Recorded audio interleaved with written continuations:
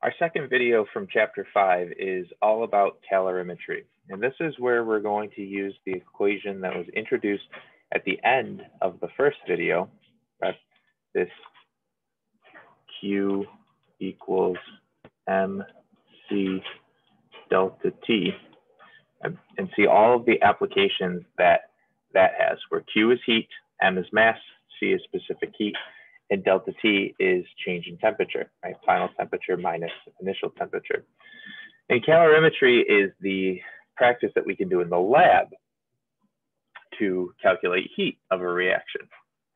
So you see the definition right there. One technique that can be used to measure the amount of heat involved in a chemical or a physical process, calorimetry. Maybe you've done it in your previous chemistry course. Okay, coffee cup calorimetry is a common lab experiment. We're thinking about as the process goes, right, a chemical or a physical process, where is the heat being transferred? Is it being transferred from the substance, so it's heating up its surroundings, or is it being transferred to the substance, so that thing is absorbing heat and cooling down its surroundings? And to figure this out, we look at the heat exchange with something that we've previously calibrated. Okay, so that's known as the calorimeter where we know the heat capacity, we know the mass, and we can look at the temperature change. Because the change in temperature in the calorimeter can then be converted to find the heat. And that heat change in the calorimeter, as we'll see in just a second, corresponds to the heat change of the substance we're looking at. But it's important that we distinguish between the system and the surroundings? Because the substance that we're looking at, or substances, that's undergoing the change. That's known as the system. So a chemical reaction or a physical object would be known as a system. Uh, but the surroundings is everything else, okay? The other components of the measurement apparatus. So the calorimeter itself is considered to be the surroundings. And the calorimeter as part of the surroundings can either absorb heat from the system, right? So it's heating up. That means our object is giving off heat, or it can serve to provide heat to the system. If our system is endothermic, right, it absorbs heat, meaning that has to come from the calorimeter, and our calorimeter would cool down. Thinking about it just like a chemical cold pack. So think to yourself, what would happen to the surroundings if my system, my reaction was exothermic? Think to yourself, pause for understanding. If we had an exothermic reaction, that means that the system is giving off heat. Therefore, the surroundings would warm up and we'd see a temperature increase in our calorimeter. So a couple parts, right? Calorimeter itself in calorimetry is the device that's used to measure the amount of heat transfer that's involved in a chemical or a physical process. Typical, this, typically, this is happening in an aqueous solution. So we're just measuring the temperature change of water, but there are other ways to do it as well.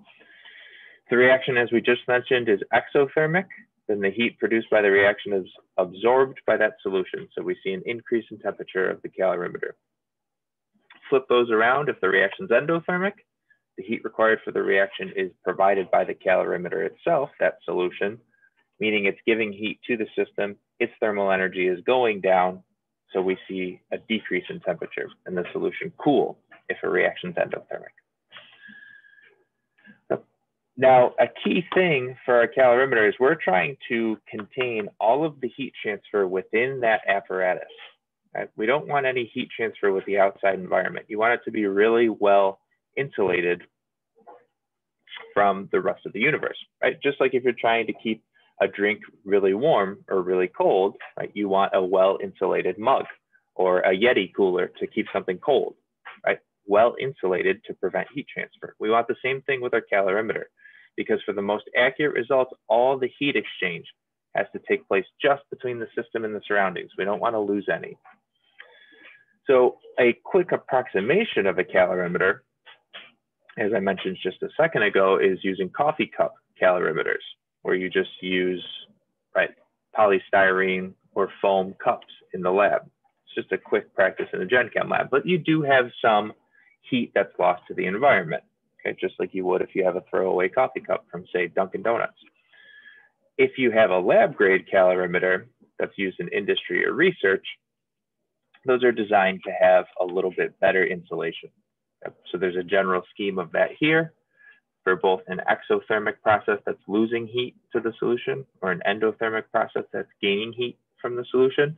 Right? Notice if it's exothermic, the temperature goes up. If it's endothermic, the temperature goes down. But notice in each of these, right, we are well insulated. There's no heat transfer to the outside.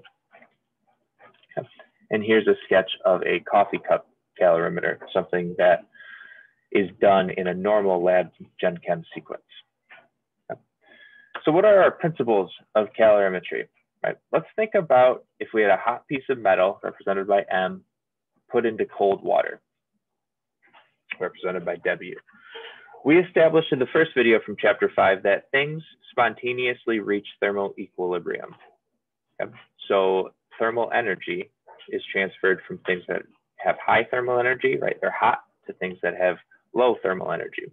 They're cool. So if hot metal is placed into cool water, heat transfer, thermal energy, right, goes from the metal to the water, meaning that over time, the temperature of the metal decreases and the temperature of the water increases until they are at the same temperature and they have reached thermal equilibrium. Uh, again, assuming that we have a perfect calorimeter and there's no heat loss to the outside. So if I have a, a thermometer that's measuring the temperature of the water, I put hot metal into the water, we see the temperature go up because that hot metal has lost heat represented by Q to the surroundings, which are is water in this case. So I can do a little bit of math with that idea. If my calorimeter is perfectly insulated, meaning there's no heat loss to the outside, the only heat transfer is between the metal and the water. There's no net change in heat. It's just varying where our thermal energy exists. So the sum of the change in the heat of the metal and the water is equal to zero. And so if we just rearrange that equation by subtracting QW from both sides, tells me that the heat gained or lost by the metal is equal to the heat gained or lost by the water. The value is the same, just the magnitude is different. Right? So they have the same numeric value. One is positive, one is negative. So the heat of both substances is equal in magnitude, but opposite in sign. And if you would have wrote, right, negative QM is equal to positive QW, that would still work out at the end of the day. Okay, but that's an important equation. System and surroundings. Metal is the system, W is the surroundings. The heat of the system is always equal but opposite in sign to the heat of the surroundings. And I also know right from the beginning of this video that Q is equal to MC delta T. So as I jump into example 5.3 here, which takes up a couple of slides, we'll see how we can use all of these concepts into one problem. Okay. Taking note of all the information that I have. So I have a 360 gram piece of rebar, okay, so metal. thinking about that, okay, that's the mass of the metal. Uh, it's dropped into water, 425 milliliters. That's not gonna help me. Okay. But I do know that the mass of water, or sorry, the density of water is equal to one gram per milliliter. So this is also equal to 425 grams of water. The water initial temperature is 24 degrees Celsius. The final temperature is 42.7 degrees Celsius. So the other bit of information we'll need uh, is the specific heat of water, which would be provided to you on a test. Okay, that's 4.184 joules per gram degree Celsius. So then we're given the specific heat right, of water right here, the mass of water, and the temperature change of water. So that allows us to calculate the heat that went into the water. And we know that the heat is going into the water because the temperature is increasing. Q equals MC delta T. So I find the Q that way. And then if I know the heat transfer there, that's also equal to the heat that was lost by the metal. So if I'm given the mass of the metal right there and the specific heat, then I can answer this question that asks me to calculate the initial temperature. The only thing that's missing here is the final temperature of the water. Okay. But what is that? It's not in the question. It requires a little bit of intuition. It's the same 42.7. The final temperature of the water has to be equal to the final temperature of the rebar, the metal, because they've reached thermal equilibrium. The final temperature of these things is always the same. Okay. So with that in mind, right, let's see how this question is solved. Okay. I know that the heat given off by the rebar is equal to the negative heat taken in by the water. So Q rebar is equal to negative Q water, what we just talked about. And I know Q is equal to MC delta T. So that's what I do next, right? M rebar, C rebar, delta T rebar. Same thing for water on the other side with a negative sign outside of all of it. Delta T is equal to final temperature minus initial temperature. So I've plugged that in right here. This is all one big equation, just going over two lines here. Everything for the rebar on the top, everything for the water on the bottom. Then I plug in all those pieces of information that I just had. The specific heat for the rebar, the mass of the rebar, okay, the final minus the initial temperature of the rebar. Specific heat of water, mass of the water, 425 grams, temperature change of the water, final minus initial. A lot of math in this case, right? But when you solve for it, you should get a temperature the initial temperature of the rebar of 248 degrees Celsius. So that's how you solve this example 5.3. And you can always think to yourself, does my answer make sense? If you get a negative temperature, you messed up, right? You can never have a negative temperature. So that means you need to go back and check your problem. But I can also think to myself, does this make sense? Okay. I had water that was initially 24 degrees Celsius and it increased to 42.7. So yeah, my temperature better be higher than 42.7. Okay. But it's all the way up to 248, right? Notice the temperature change is different here and here because it's a different mass and a different specific heat. So don't just look at this problem and think, oh, the difference here is 18.7. So I just have to add 18.7 to 42.7. I see that mistake made on the test a lot. You don't do that, right? Trust the process. Q equals MC delta T on both sides you solve for the initial temperature, which should be higher than 42.7. Okay. So theoretically, your answer makes sense. Uh, so that's the basis behind calorimetry. But usually calorimetry isn't done to look at an example like that, where we're putting a hot piece of rebar into a cool solution of water. We're typically looking at chemical reactions, as you see here. But the same principles still apply right? Energy is not created or destroyed during a chemical reaction. It just transfers location. So there's no overall energy change. Therefore, I just think about the system as being the reaction and the solution being the surroundings. And just like Q system equals negative Q surroundings, we just saw Q rebar equals negative Q water, right? Q reaction is equal to negative Q solution. And then after that, it's the same idea. Q equals MC delta T. So I see these problems put into play in another equation here. And you, I recommend you try this on your own. You saw 5.3, how that was solved. Try and chop up 5.5 here and see if you can get the final answer. We're given 50 milliliters of one molar HCl, 50 milliliters of one molar sodium hydroxide, both at an initial temperature of 22 degrees Celsius. We put them in a calorimeter temperature reaches a maximum of 28.9 degrees Celsius. What's the approximate amount of heat produced by this reaction? Okay, so I'm asked about the heat of the reaction, but I'm given information for the solution. Okay. So Q reaction is equal to negative Q solution, as we just established. So to find the answer to this question, Q reaction, I'm first going to solve for Q solution. How do I do that? MC delta T. But what is the mass in this case? Okay. Notice I had, well, it got rid of the initial problem, so I'll jump back to it. Okay. 50 milliliters of hydrochloric acid and 50 milliliters of sodium hydroxide. That's 100 milliliters total. And as we've mentioned in this video, right, density of water, in this case, one gram per milliliter. So 100 milliliters is equal to 100 grams, shown here in scientific notation. This is an aqueous solution.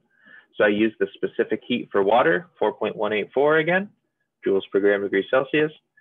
And then the temperature change for the solution, final 28.9 minus initial 22.